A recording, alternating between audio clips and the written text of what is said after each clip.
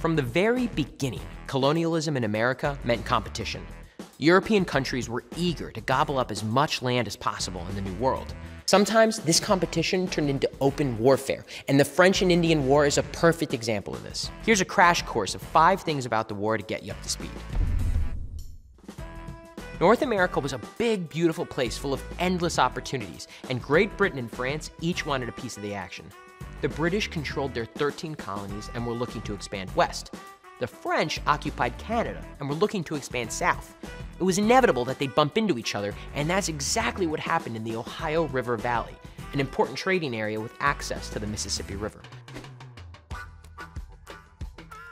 The French and Indian War marked the debut of 21 year old George Washington, a lieutenant colonel for the militia in the British colony of Virginia. In 1754, he was ordered to protect a British fort near what is now Pittsburgh. On the way, Washington encountered a French military unit, and the two sides fought in the first battle of the French and Indian War, the Battle of Jumonville Glen. Washington was young, but he was quickly gaining the experience he would need to eventually command the Continental Army. Years of territorial scuffles turned into full blown declarations of war in 1756. As fighting broke out, the British and French sought allies among the local Native American populations. The French were familiar with many tribes through trade and recruited the Potawatomi, Winnebago, Ojibwa, Mississauga, and the Huron, while the British turned to the Iroquois Confederacy. At first, the French were winning, a lot. They simply had more troops and better supplies than the British Army and drove them back towards the 13 colonies.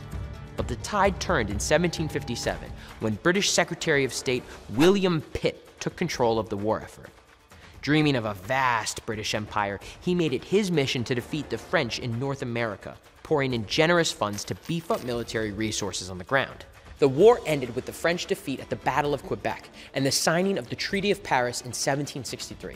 The British gained control of Canada and all land east of the Mississippi River. It may seem that the British made out well after all was said and done, but there was a catch. You see, William Pitt borrowed heavily to finance the French and Indian War, which left his nation in tons of debt. To make up for it, the British taxed American colonists up the wazoo. Americans didn't particularly appreciate this. Years of protests, rallies, town hall meetings, and petitions would eventually lead to the American Revolution and the creation of the United States. The French and Indian War may not have had the glorious battles or fearless heroes of other great conflicts, but it was one of the most consequential wars in American history. It also opened the eyes of a young military leader to the tyranny of the British, a man who would go on to be the first American president.